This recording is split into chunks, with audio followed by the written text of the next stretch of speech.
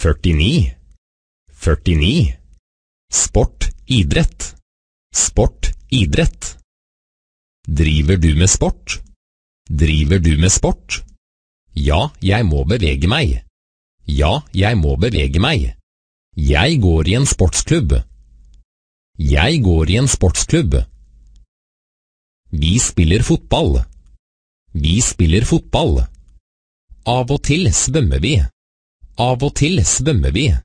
Eller vi sykler. Eller vi sykler. I byen vår finnes det en fotballstadion. I byen vår finnes det en fotballstadion. Det finnes også en svømmehall med badstue. Det finnes også en svømmehall med badstue. Og det finnes en golfbane. Og det finnes en golfbane. Hva er det på TV? Hva er det på TV? Det er fotballkamp akkurat nå. Det er fotballkamp akkurat nå.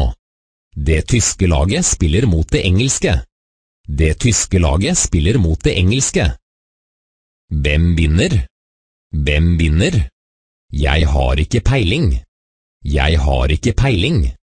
For øyeblikket er det uavgjort. For øyeblikket er det uavgjort. Dommeren kommer fra Belgia. Dommeren kommer fra Belgia. Nå er det elleve meter. Nå er det elleve meter. Mål! Ett mot null. Mål! Ett mot null.